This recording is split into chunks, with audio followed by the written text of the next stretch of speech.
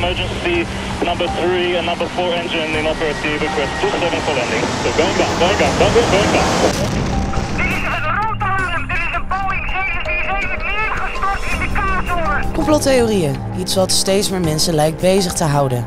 Maar wat klopt er van deze theorieën en wat is fake news? In deze aflevering bespreken we het complot rondom de Bijlmerramp. Ja, meneer Van Gijzel, 4 oktober 1992, een vreselijke dag. De dag waarop de Bijlmerramp plaatsvond. Hoe heeft u die dag beleefd? Ja, dat is heel hectisch. En dat stijgt nog steeds. Ik bedoel, als je ziet wat er toen daarna gebeurd is. Die dag zelf was natuurlijk al drama.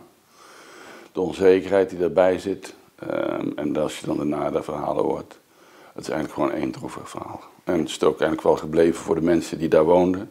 Kijk, je bent niet in staat als individuele burger om je te beschermen als zoiets van buitenaf komt. Dat, de overheid heeft een luchthaven neergelegd. Als het dan fout gaat, mag je ook verwachten dat de overheid voor jou opkomt om een beetje um, uh, te helpen om door die periode heen te komen. Nou, dat hebben ze niet echt gedaan. We maken een serie genaamd Complot en u heeft ooit gezegd... wat er is gebeurd in de Bijlmer is niet per se een complot, maar zeker wel een doofpot. Ja, heel goed, ja. Kunt u uitleggen wat u daarmee bedoelt? Nou, bij een complot denk ik altijd van dat is van tevoren bedacht en uh, we gaan dit en dat doen en uh, niemand mag het weten, maar dan uh, rommelt het wel zus en zo die kant op en dan krijgen we waar voor ons geld, dan krijgen we wat we willen.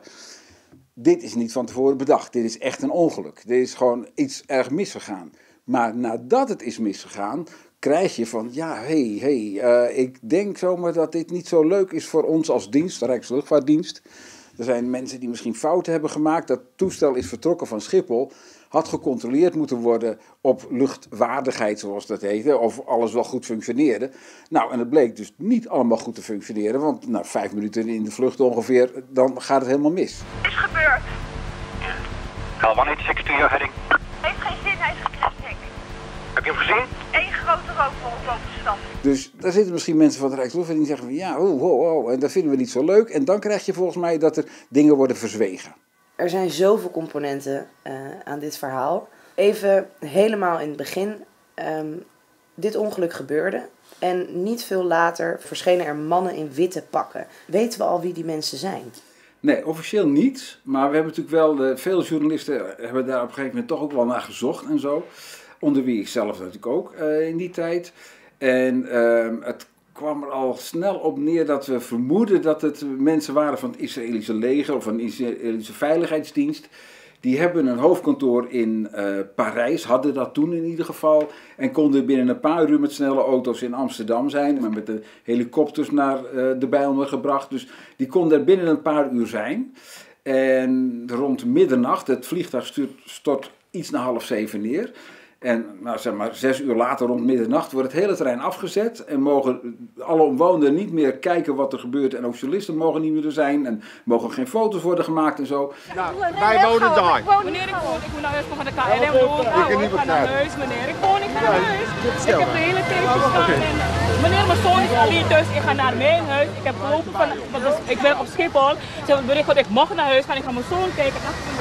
En dan vertellen mensen die nog wel wat hebben gezien van ja, dan komen er dus mensen in beschermende witte kleding die over ja, de brandende resten van het flatgebouw en van het toestel gaan lopen op zoek naar iets. Weet u wat dat iets is? Nou, er zijn verschillende theorieën over, maar officieel weten we dat dus allemaal niet. En alles wat ik nu zeg is ja, een kwestie van speculatie, dat geef ik onmiddellijk toe. Ik kan niet anders, want ik krijg geen antwoord op mijn vragen. Maar uh, er zit waarschijnlijk een deel van de lading uh, tussen die uh, gezocht werd en uh, die we met z'n allen niet mogen weten. Ons wordt verteld dat het vliegtuig van El Al, dat desbetreffende vliegtuig, uit New York komt. Maar hij kwam eigenlijk uit Washington. Vanaf daar is het eigenlijk al een raar verhaal. Kunt u mij even chronologisch vertellen hoe het verhaal voor u in elkaar steekt? Nee, we hebben altijd gehoord dat hij uit New York komt en dat komt hij ook. Daar is hij ook geladen. Die vrachtbrieven hebben we ook gezien. Maar daarvoor zit een vluchtje vanaf Washington naar New York. Hij komt eigenlijk van Andrew Military Base, New York, of uh, Washington. En daar is hij geladen met iets wat wij niet precies weten. Dat hebben we ook nooit kunnen zien. Die ladingsbrieven tussen Washington en New York kennen we niet, wel New York, Amsterdam. Ja, dus er zou mogelijk militaire lading in kunnen zitten. Ja, daar gaat, daar gaat men ook wel van uit dat dat mogelijk wel het geval zal zijn. De vraag is wat voor militaire lading.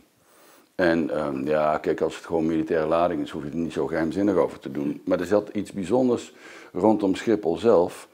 El Al heeft een, had toen een laissez-passer van de Yom Kippur-oorlog. Dat betekent dat ze echt alles ongecontroleerd via Schiphol door mochten voeren naar Israël. En er is een theorie die zegt dat daar aan boord mogelijkerwijs iets gezeten heeft wat zich niet verhoudt met het non-proliferatieverdrag, internationale verdrag om geen levering van chemische, biologische of nucleaire materialen te leveren aan andere landen. Daar is Amerika gebonden, Engeland, Frankrijk, um, China. Um, dus de nucleaire landen, dus die, die kernwapens hebben, Rusland zit er ook bij, hebben dat getekend dat ze het niet aan derde landen geven. Dus ook niet naar Israël. En uh, nou ja, de, de theorie zou dan zijn dat op, op Washington dat ingeladen is, dat het vervolgens hier naartoe gevlogen is. Ja, en dan kun je het eigenlijk niet hebben dat dat dus bekend wordt. Nee. Nou, het toestel heeft een probleem gekregen met twee motoren. En toen moest er dus iets.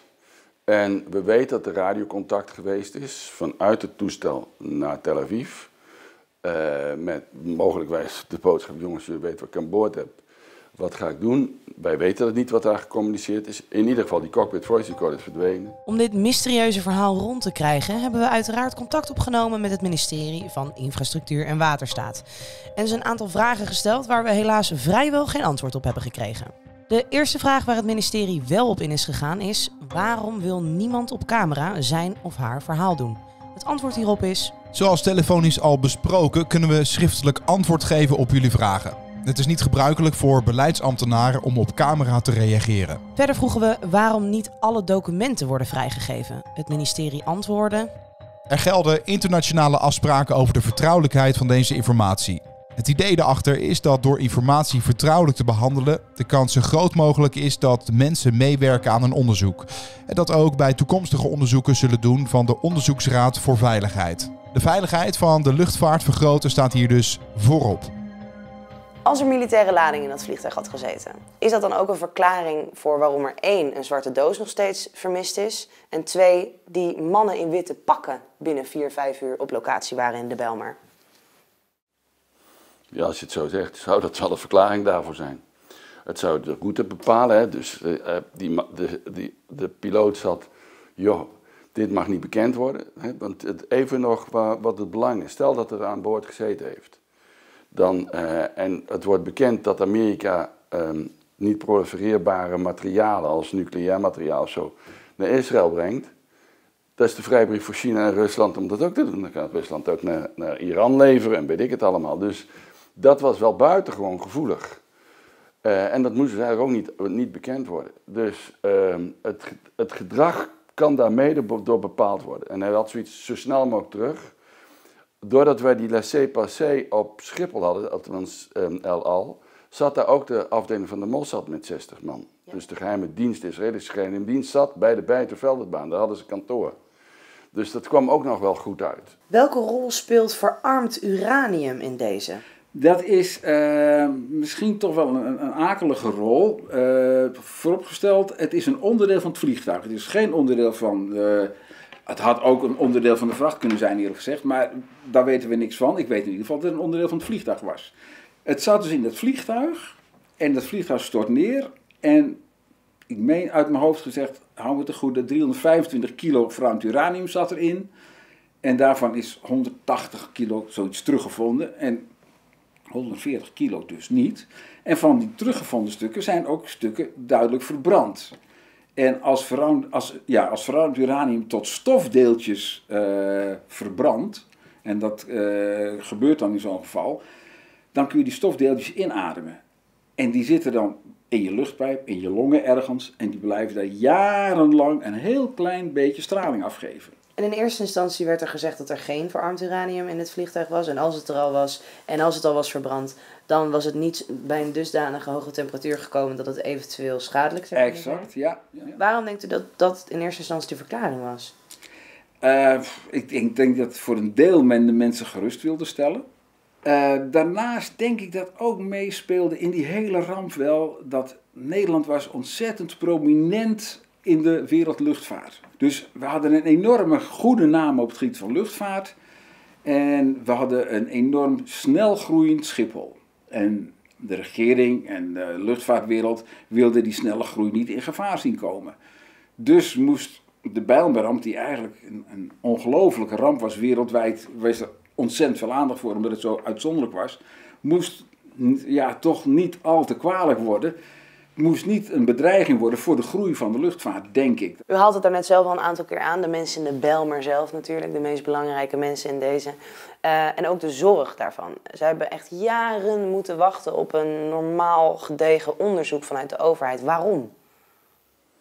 Ja, dat heeft mij ook altijd een, een raadsel gebleven. Het is een soort ontkenning geweest dat er iets aan de hand was. En ik vind dat dat heel lang geduurd heeft voordat daar een beetje inzicht gekomen is.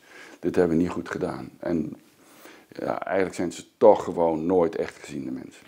Het heeft ook wel met de Belmen te maken, denk ik hoor. Maar goed, dat mag ik bijna niet zeggen. Maar het was, nou, het was natuurlijk niet het allerbelangrijkste, zo werd het niet gevoeld, het allerbelangrijkste deel van de Nederlandse samenleving.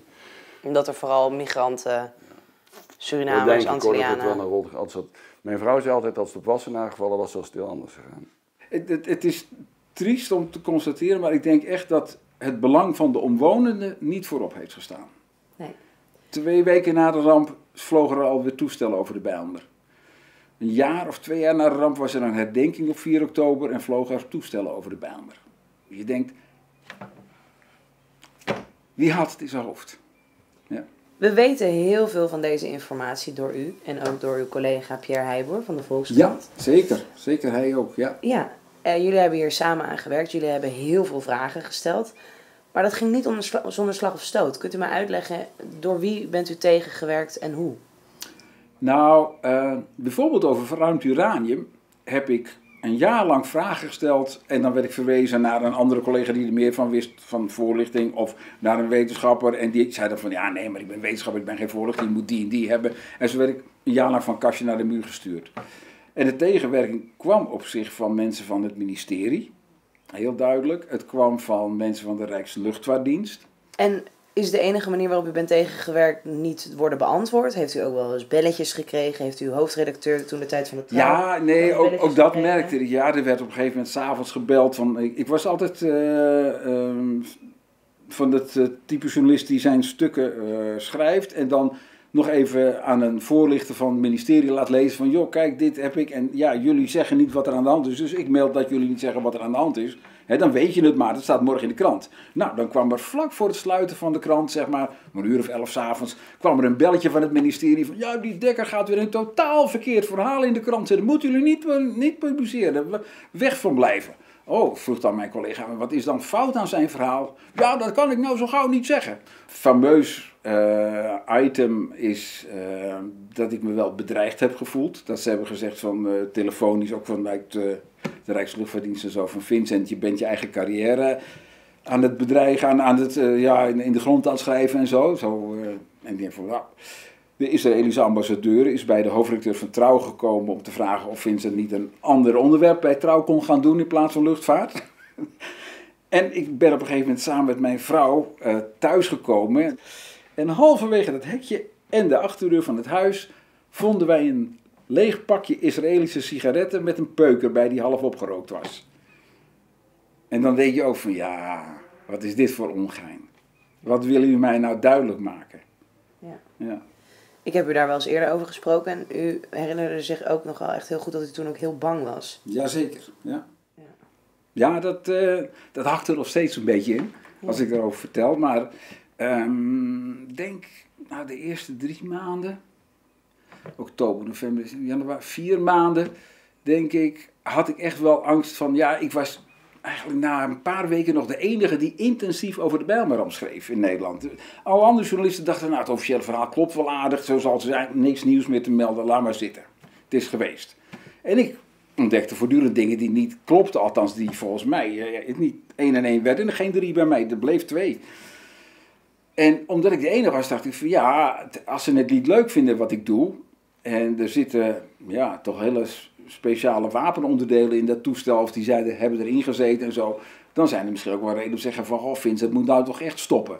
Dus ik ging s'avonds laat, als ik eh, van de krant wegging uit Amsterdam, mijn auto gaan controleren, onder de motorkap kijken, onder eh, de auto kijken of zit er niks aan de bodem geplakt en zo. En als je dan je contactsleuteltje omdraait, je denkt van, Over een seconde ben ik er niet meer of ik ga gewoon naar huis. dus, en dat, dat werkt niet nog steeds. Hè. Dat is zo raar. Ik heb het nooit gehad. Tot een paar jaar geleden. Toen plotseling kwamen die emoties toch te sterk. Op alle inhoudelijke vragen, zoals wie waren de mannen in de witte pakken, waarom werd El Al met fluwelen handschoentjes behandeld, waarom werd in eerste instantie niet verteld dat verarmd uranium, een levensgevaarlijke stof wanneer het verbrandt, in het vliegtuig aanwezig was, waarom werden journalisten tegengewerkt door de RLD en waarom werden de inwoners van de Belmer met klachten niet serieus genomen. De reden die ons hiervoor werd gegeven is We zijn op dit moment bezig met het beantwoorden van Kamervragen in dezelfde strekking als de vragen hierboven. We moeten eerst deze vragen beantwoorden voordat we antwoord kunnen geven op jullie vragen. En denkt u dat de Nederlandse overheid ooit echt verantwoordelijkheid gaat nemen voor hoe ze de situatie toen de tijd hebben aangepakt, met name met de nazorg? Ja, als je zelf geen gevoel hebt van schuld, dan is het moeilijk om daar verantwoordelijkheid voor te nemen. En dat andere, ja, daar gaan zij niks over zeggen. Dat blijft, dat blijft gewoon de doofpot van Vincent Dekker. Hey, jij daar? Nog geen subscriber? Doe dat dan even. Door hier te klikken op deze button. Hey, tel uit je winst. Gewoon hier. Wow.